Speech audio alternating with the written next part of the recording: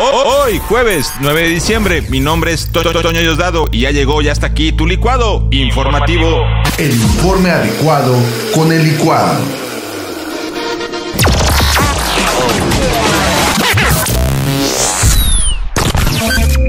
Sabrá leer, pero la señorita no es mentirosa. Esto dijo el presidente Andrés Manuel López Obrador. Después de que el expresidente Felipe Calderón en un tuit dijera eh, sobre Elizabeth García Vilchis, esa chica que está encargada de la sección en la mañanera de quién es quién en las mentiras, pues Calderón se le fue encima a la señorita y le dijo en un tuit que sacara a la señorita este, la mentira de que al parecer López Obrador fue en un tren simulado al nuevo aeropuerto Felipe Ángeles por ahí del fin de semana y que la señorita no saliera con que estaba exagerado. Y por ahí, pues el presidente salió a defender a esta chica, a decir que, pues a lo mejor no sabrá leer, como dijo el presidente Felipe Calderón, pero que no es mentirosa, que no se esté metiendo con ella. Entonces, pues que la señorita no tiene nada que ver ahí. El pleito aquí más bien de dos. Y se llama Calderón contra López Obrador.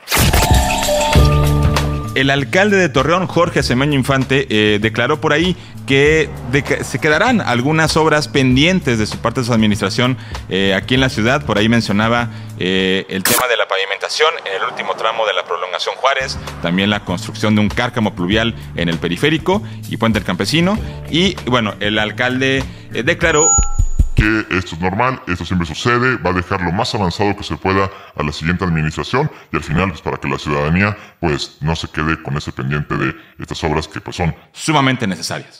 Y en, una nota bastante triste en el mundo del fútbol, el exfutbolista Alfredo Moreno, quien jugara en varios equipos de la Liga MX por ahí, el San Luis, el América, el Necaxa, etcétera, eh, falleció a los 41 años. Esto debido a que hace una semana fue intervenido por un tema en la vesícula biliar, por ahí algo le estaba obstruyendo y lamentablemente le detectaron por ahí un tumor maligno. No se ha confirmado que esto haya sido la causa de la muerte, pero bueno, al final de cuentas creo que es el tema menos relevante. la muerte de este futbolista, pues es la nota aquí realmente. Y pues, bueno, triste porque tenía 41 años, muy joven y la verdad, pues un futbolista que cuando jugó aquí en México, pues destacó bastante y metía goles. Descanse en paz y pues un pésame a toda la familia.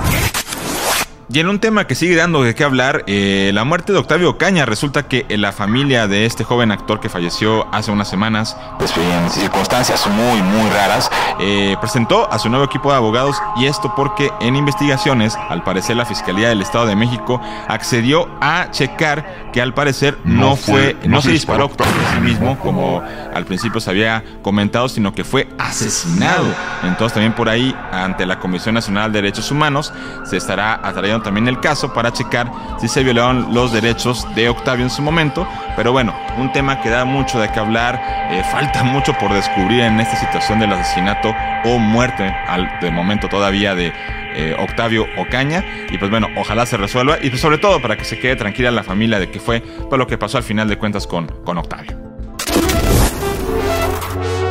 Y, este fue tu licuado informativo de hoy. Mi nombre es Toño Diosdado y recuerda, síguenos en todas nuestras redes, Facebook, Twitter, Instagram, YouTube, el canal de Twitch, ahora ya tenemos canal de Twitch por cierto, eh, también por ahí en www.soliradio.com y recuerda, transmisiones en vivo desde las 6 de la mañana hasta la 1 de la tarde y esto ya simultáneamente en tres plataformas, Facebook, Twitch y el canal de YouTube donde estará también en vivo toda nuestra programación. No te despegues, echémosle ganas, cerrando semana. Chao.